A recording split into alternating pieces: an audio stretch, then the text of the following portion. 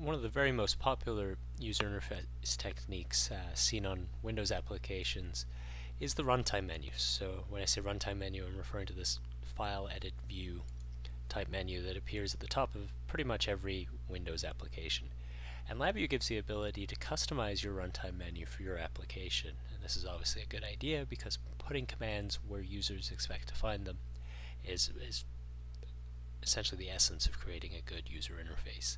And also, chances are you don't need to expose all the default LabVIEW capabilities to your user. So in order to customize it in LabVIEW, click Edit and come down to Runtime menu. It allows you to edit the runtime menu. Uh, and you'll see by default you have all of these options that are available to LabVIEW. Um, it's quite a lot. Chances are you don't need your user to be able to see all those. So if we come down to custom, you'll see the preview goes blank. We just have these question marks. So I'm going to add file menu back. People kind of expect file to be the first one. Um, then I'll add an element underneath file. Perhaps I'll add back the exit option because I want people to be able to exit my application. and that's just going to invoke the same as if I went file exit from uh, the regular LabVIEW menu. Uh, I also have the option of adding my own user items.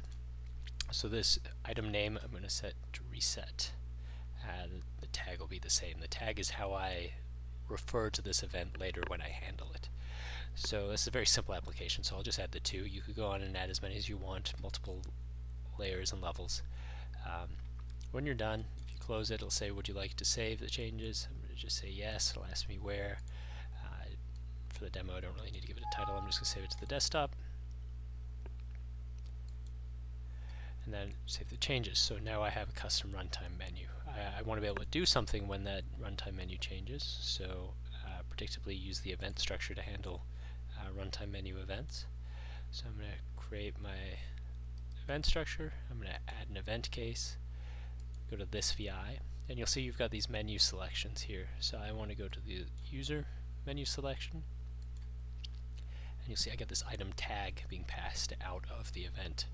Uh, and that's what I'm going to act on. So if I add a case structure here to determine which item tag uh, the user selected, uh, you'll recall I called my user tag reset and then let's just pop open a dialog to, to confirm that that's working. Um, so if I switch back to my front panel, I hit run, you'll see I've got this custom menu here. I hit file, I have exit, uh, which also has a keyboard shortcut associated with it, uh, as the defaults do. I also have this reset option, and when I select reset, uh, I get the little dialog or the, the code that I requested uh, be run in here as executed. So using this technique you can add pretty much any type of logic and commands to the runtime menu least Windows users are familiar enough to be able to find that code. It's just